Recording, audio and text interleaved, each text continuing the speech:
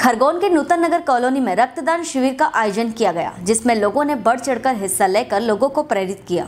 हम आपको बता दें कि उज्ज्वला चिकित्सा स्वास्थ्य, शिक्षा स्वास्थ्य सेवा समिति के तत्वावधान में संस्थान के अध्यक्ष परशुराम चौहान के इकसठवें जन्मदिन पर रक्तदान शिविर का आयोजन किया गया। जिसमें अध्यक्ष सहित समाज सेवियों ने रक्तदान करके लोगों को संदेश दिया। इस दौरान संस्थान प्रमुख ने बताया कि शिविर के माध्यम से खासकर नौजवानों को प्रेरित करने के लिए जन्मदिन को यादगार बनाया है। खरगोन से जयंत गुप्ता की रिपोर्ट। स्वास्थ्य सेवा की एक समिति बनी उज्ज्वला चिकित्सा, शिक्षा एवं स्वास्थ्य सेवा समिति। उस समिति का मैं अध्यक्ष हूँ। इस नाते समिति के सभी हमारे प्रमुख लोगों ने मेरा ये इकसठवां जन्म दिवस है दिवस है।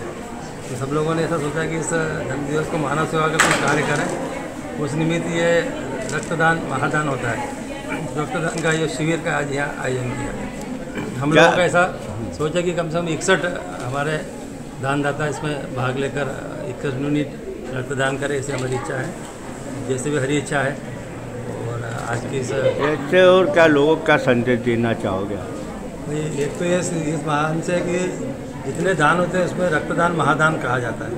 क्योंकि रक्त ही जीवन देता है। जीवन देने के लिए जब ज़रूरत पड़ती है किसी मरीज़ को तो वो बहुत बड़ा उसके लिए जीवन मिलता है उसको रक्त से। ऐसा दान युवाओं ने करना चाहिए और कई बार इस दान से हमको भगवान का बहुत आशीर्वाद भी मिलता है। जीवन देने वाला भगवान है। और उसी की प्रेरणा से सब कार्यक्रम इस प्रकार का आयोजन करने का हमारा उद्देश्य है।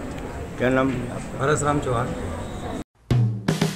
हेलो फ्रेंड्स आप देख रहे हैं हमारा channel S W twenty four news हमारे सारे वीडियो सबसे पहले देखने के लिए आप हमारे चैनल को सब्सक्राइब करें और पास में लगे बेल आइकोन को दबाना बिल्कुल भी ना भूलें।